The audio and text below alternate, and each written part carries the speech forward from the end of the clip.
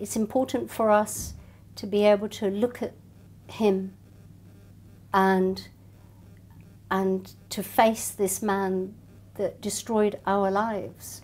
We need to see, we need to face him, we need to look at him, we need for him to look at us, we need for him to see our pain, we needed for him to hear our victim impact statements, which are pointless, absolutely pointless if the person that perpetrates, that kills your loved one, doesn't hear the impact. Who's that for?